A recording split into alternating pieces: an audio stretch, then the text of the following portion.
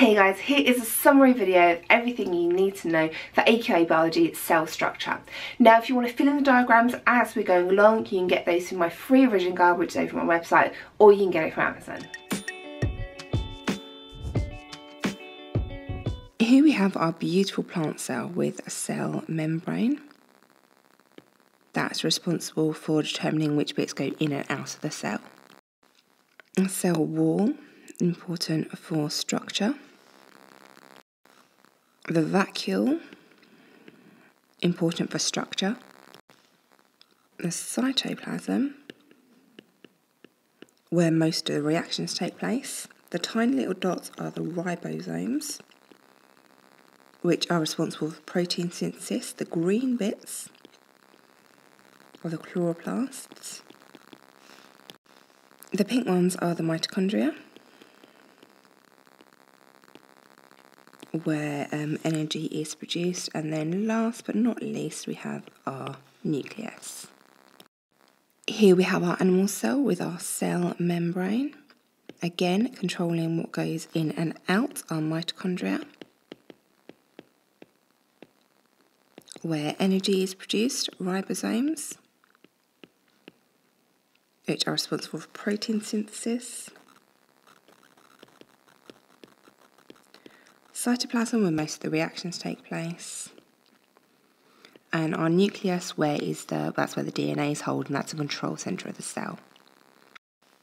You'll notice there are several features of a plant cell that an animal cell doesn't share. For example, the cell wall, the vacuole, the chloroplasts. If you want to copy these pictures yourself, you can download the free version guide from my website. Here we have our bacterial cell, which has its cell membrane controlling what goes in and out, the cytoplasm, where most of the reactions take place, the chromosome, the DNA not in a nucleus, the flagella, which is used for um, locomotion, ribosomes, for protein synthesis, and then on the outside we have the cell wall. Even though you have to learn the structure of a typical plant cell or a typical animal cell, there isn't really a typical type of cell because there are a wide range of differentiated specialized cells. We can see here in our cross section of the leaf, it has lots of different types of cells in. Here we have a neuron, which looks very different to a muscle cell which is going to look very different to a skin cell or very different to a set of cells in the gut. They're going to specialise to do their jobs. So here we have villi, which give us long surface area. Here the cells are very tall to provide structure. Here the cells have a very long body so that the neurons can travel a long distance.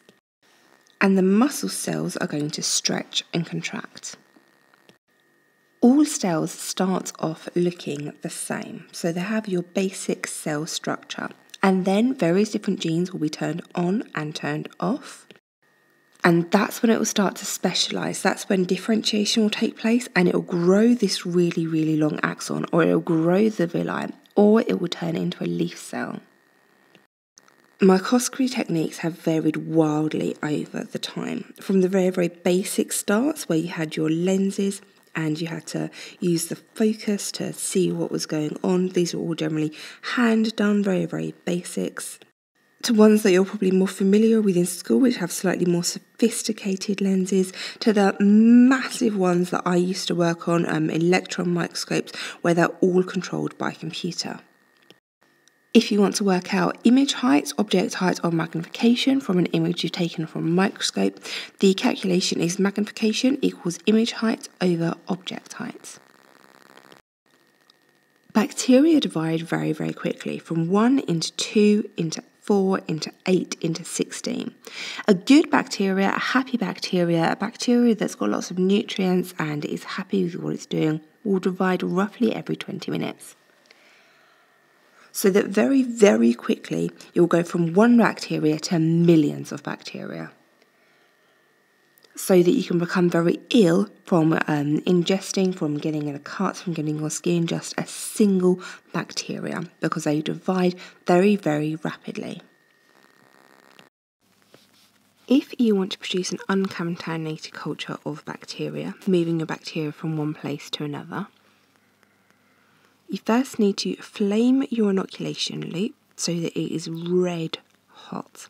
This makes sure it kills everything that is on there. You need to make sure that you open your bottles near the flame so that no further contamination can get in there. Open the lid as little as possible, flaming the lid as you go.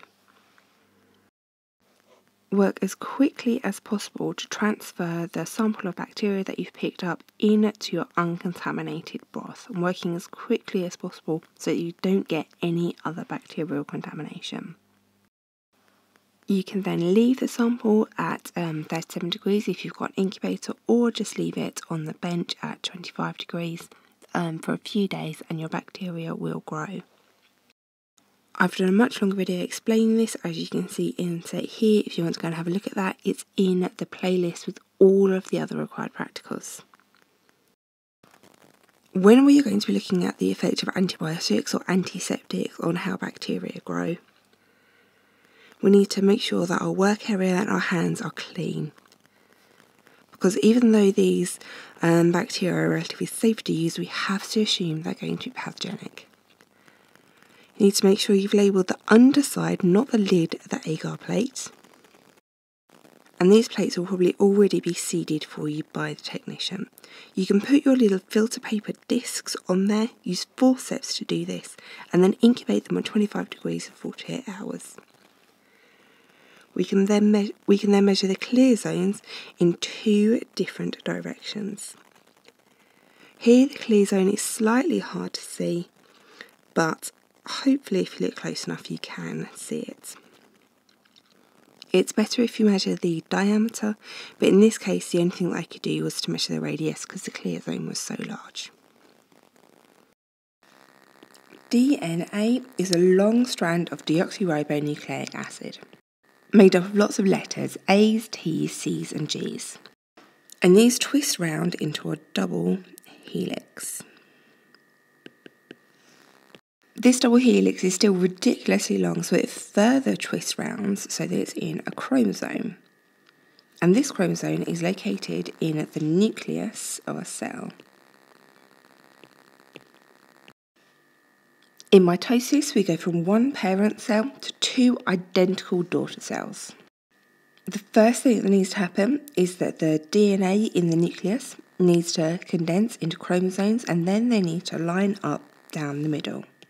Once they're all lined up down the middle and all the checks are taken place to make sure that um, chromosomes aren't going to go astray, they can start to be pulled apart to either end of the cell. New nuclei will form and then they will separate into two identical daughter cells. Stem cells are fantastic things because they are things that have the potential to turn into any other type of cell. They have a number of different uses.